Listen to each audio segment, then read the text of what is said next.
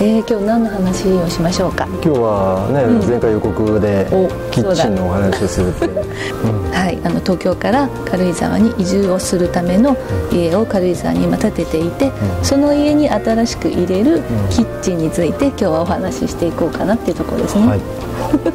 あの軽井沢に移住するまでっていうことで私たちはこうだったっていう話を今までずっとしていて、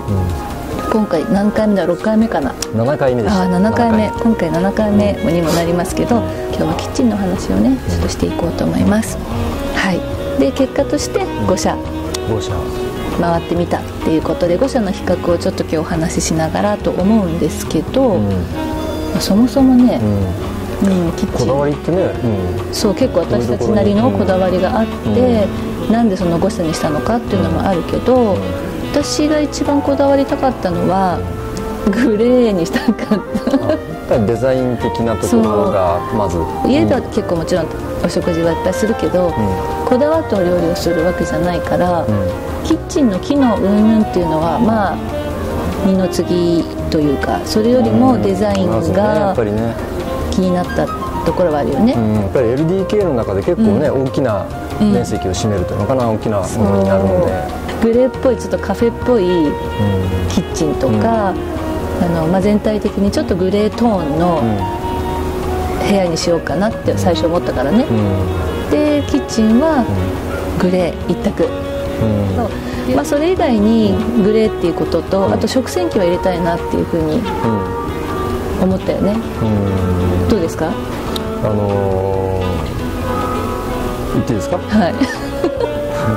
我が家ではこう、うん、後片付けというそう。お皿洗い、はい、うん、私の担当していただいていて毎日ね。食洗機入れていいんですか？食洗機マジっすか？みたいな。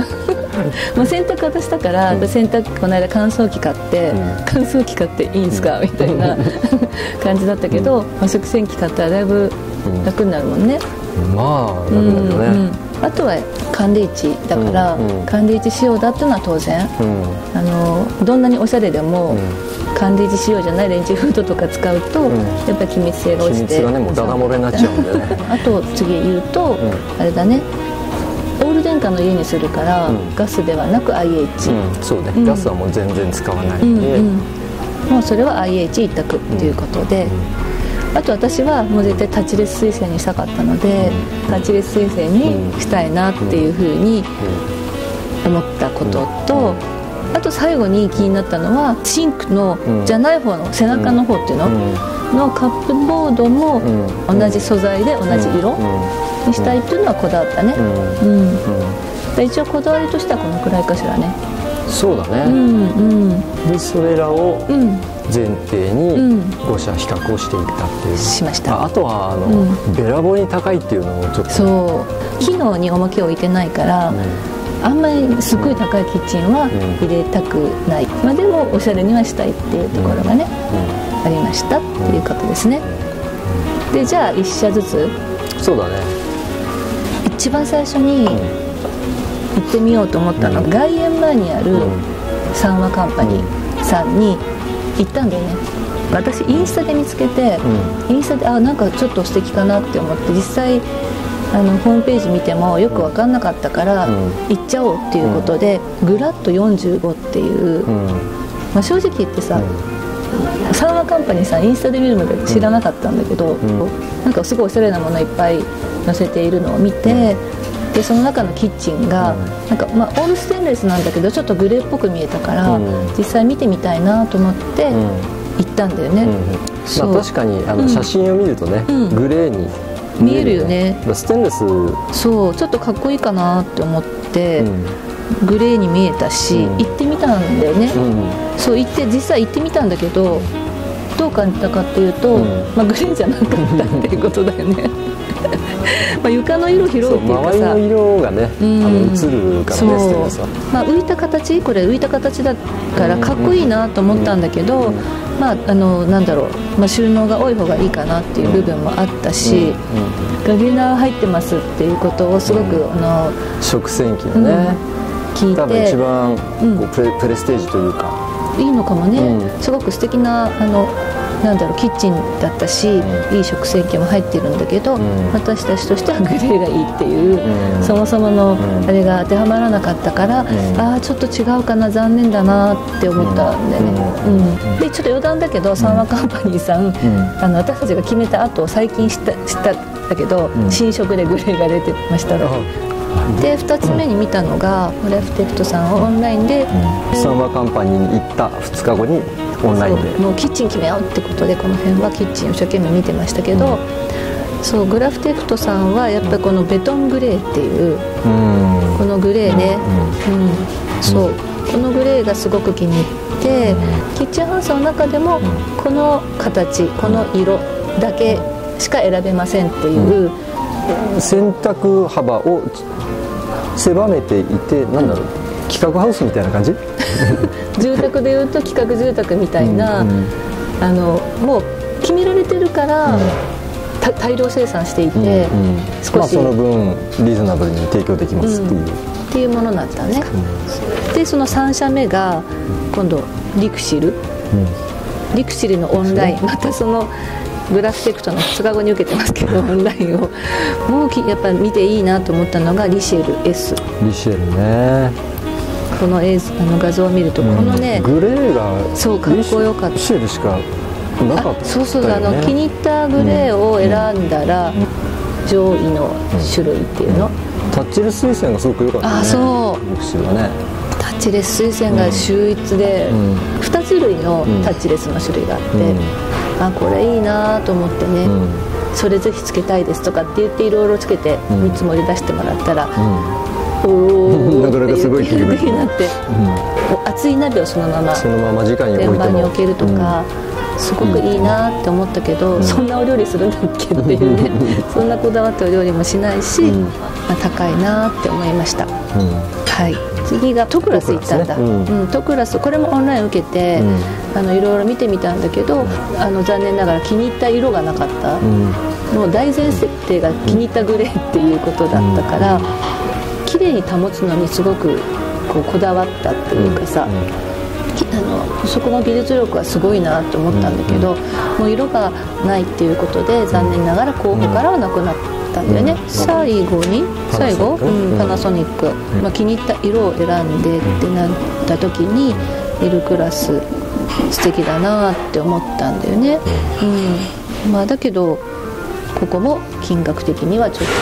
と及ばなかったな。かなかねなかなかいいお値段でしたね。まあ、結論的に、さっきからいいお値段ですね。とか言ってるけど、あのリクシルとパナソニックと、うん、あのグラフテクト、うん、3つがいいなって最後悩んだんだよね、うん、でいろいろパナソニックもリクシルもどうにか値段を落とせないかっていうふうに思っていろいろ検討したんだけど、うん、やっぱりキッチンにそこまでかけられないっていうことで、最終的に残ったのが、グラフテクトグラフテク。ト、うん、なんとなく一通りこう、うん、まあ、説明を聞いたり見に行ったりした中で、僕の印象としては、うん、グラフテクトのベトングレーに一番惹かれてた。惹かれてた最初から、そう。そのベトングレーっていうのはさ、コンクリートのを感じをイメージして作られている、うんなんかその自然な感じとか、そうかっこいいなって。その上、まあ、率直にお値段も他の2社よりもかなりお安かったでしょ？一番最初にこだわってさ、うん、あのカップボードも同じベトングレーで、うん、素材だね。もう全部ベトングレーっていう、ちょっと私のイメージにぴったりだなってなったんだよね、だからこれあの色はちょっとベトングレーではないお写真なんだけどリビング側に収納がついてるっていうね、これもすごくね理想的だったよね、うん、あの LDK の中であんまりこう収納スペースを作っていないので、うん、ちょっとあとさっききあのこだわったタッチレス、うん、タッチレスに関してはこんなもの？多分今ね画面で見てもらっている、まあ、金額は値上がった後なので私たちが買った時はもうちょっと安かったんだけど、ね、これは寒冷地仕様だね。やっぱりね、うん、寒冷地仕様って何かといろいろ高いんだよね。高いです、ね、しょうがないよね、うん、凍らないようになんかなってんの、レンジフード、レンジフードね。これも寒冷地仕様ってことで、同時給配モデル、ね、うん。管理地仕様って基本的には旧廃棄あ同時にやるんだ、うん、そうそうそう。というか IH にしたということで、あのあくまでも私たち黒っぽいのにしたかったので、うん。全体的に黒が多い、これもデザインで選びました、であとはあれだね。あの食洗機。あの、はい。食洗機。食洗機ね。いいんですか？これ大容量モデルのボッシュ。ボッシュ。ボッシュ製ですよ食洗機というとさっきちらっと出た、ガゲナウ？知らなかったけどガゲナウ。と言いたいだけでしょ。ガゲナウみたいなガゲナウミーレボッシュが比較あともう一個的えアーエーゲあいあいげーこの4社が大きいのかな、うん、海外。そう。でさその、うん。ボッシュ製は、ゼオライト乾燥方式っていうのを選んだんだよ、私たち、ミーレは、えー、と洗浄が終わったら自動的に扉が少し開開く。くで、まあ、自然乾燥させる。ゼオライト乾燥の特徴って、なんかゼオライトっていう、えー物質成分が水分を吸収すると熱を発するんだって、でそれによって庫内の温度が上がって、まあ、乾燥をうんうんうんうん。進める、実際使ってみてどうだったかというのはまたね、使ってみてからお話できたらいいかなと思うんですけど、まあそんな感じでキッチンを仕上げてみました。はい。はい。実際出来上がって、またルームツアーの時にキッチンどんな感じになるのか、そうだね。私たちも楽しみですけど、うん。あのちょっと私想像しかできてないので、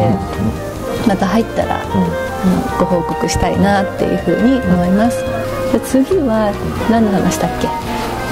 どうする？ますか？フローリング？あの、まあ、床についても2点3点したね、やっぱしこっちにします。やっぱしこっちにしますみたいな感じでいろいろあの建築会社さんにご迷惑かけたけど、すごく悩んでいろいろ見に行った結果、こうなりましたっていうご紹介をさせていただけたらいいかなと思います、はい、私たちはこう。次回は、まあ、フローリング？フローリング。3社だったかな、について詳しくお話ししたいと思います。はい。ぜひこれからも見ていただけると嬉しいです。ありがとうございます。ありがとうございます。はい。じゃあ今日はこの辺で。ありがとうございます。失礼します。なんで違うかな？